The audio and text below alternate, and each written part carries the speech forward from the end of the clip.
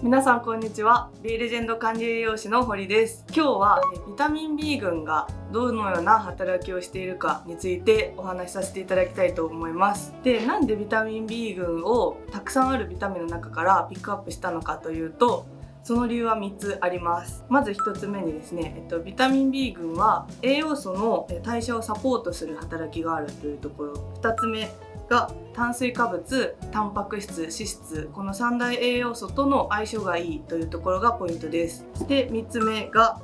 運動する方だったり、えっと、たくさん食べる人は必要量が増えるというところがポイントになります。でこの3つを踏まえて、えっと、ビタミン B 群それぞれの働きについてお話しさせていただきたいと思います。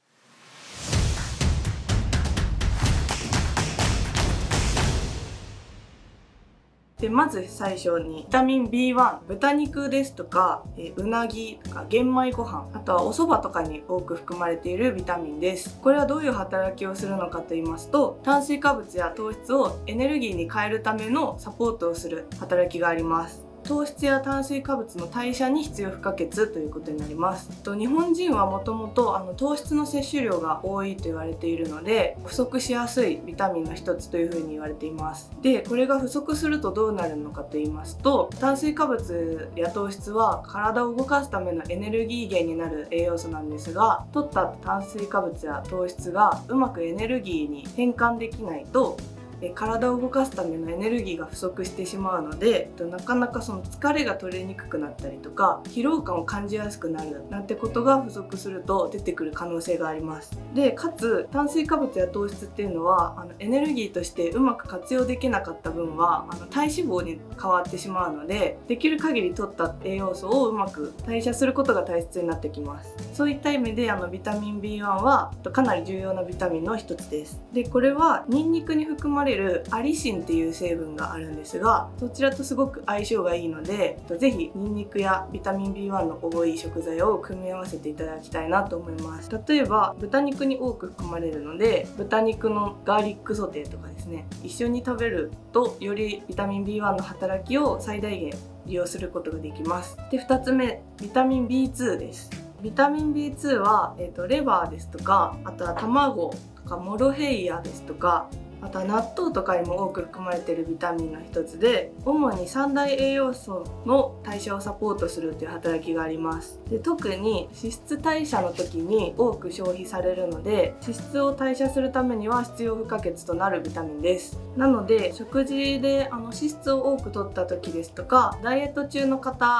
は、えっと、取った脂質をうまく体の中で利用するためにビタミン B2 がいい働きをするので意識して取っていただく必要があると思思っています。実はですねあのビタミン B2 はあの体の成長をサポートするっていう働きもありましてビタミンが発見された当初はあの発育のビタミンなんていう呼ばれ方もされていたそうです。これが不足してしまうと肌荒れやあの髪の毛のトラブルパサついたりですとか綺麗毛になりやすくなったりとかあとは口角炎などの原因にもなる可能性があるというふうに言われています。肌荒れとか髪のトラブルだとあの女性の美容の面ではなるべく避けたいかなと思うのでこのビタミン B2 の摂取意識していただくといいんじゃないかなと思います。で3つ目のビタミンですね、えっと、これはビタミン B6 です。ビタミン B6 は、えっと、タンパク質の代謝をサポートする働きがあります。でこれはタンパク質や、えっと、アミノ酸の摂取量が多ければ多いほど、えっと、必要量が増えていきますのでこの動画を見ている方は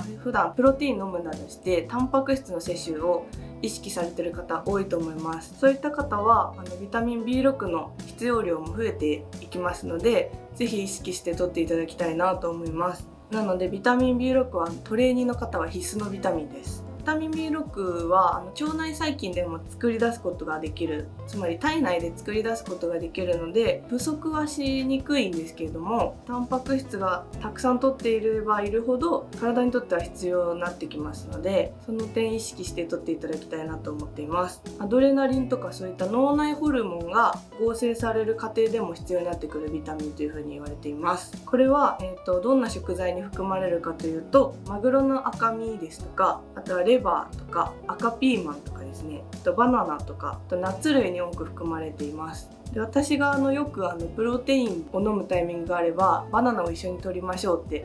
よく言うんですけれどもそれはあのプロテインのタンパク質とあのバナナに含まれるビタミン B6 で効率よくタンパク質を利用することができるという点でおすすめしている取り方の一つです。最後が、えー、ビタミン B12 になります。どんな働きをしているかというと、えー、ちょっと難しい言葉になってしまうんですが正常な赤血球が作られる過程のサポートをする働きがあります。あとは、えーと、歩行素という形でタンパク質やアミノ酸の代謝にも関わっています。これもそうですね。トレーニングには必須のビタミンかなと思います。正常な赤血球の生成をサポートする働きがメインであるので不足してしまうとあの貧血の原因にもなりかねません。結構ハードなトレーニングしてる方と貧血でお悩みの方ってたくさんいらっしゃると思うのでそういった方はぜひ意識して取っていただきたいなと思います。このビタミン B12 なんですけれどもどんな食材に多く含まれているかというと貝のアサリですとかあとはサンマとかチーズ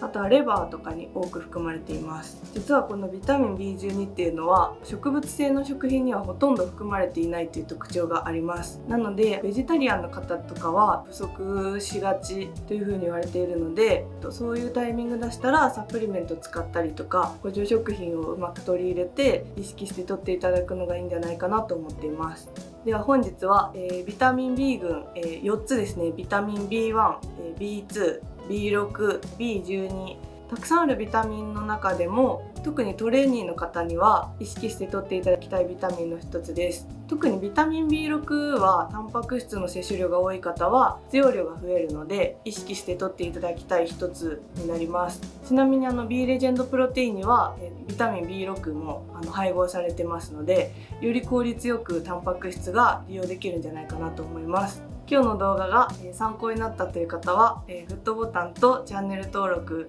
をお願いします。あと質問やリクエストがあればコメント欄にコメントいただけると嬉しいです。ではまた次の動画でお会いしましょう。さようなら。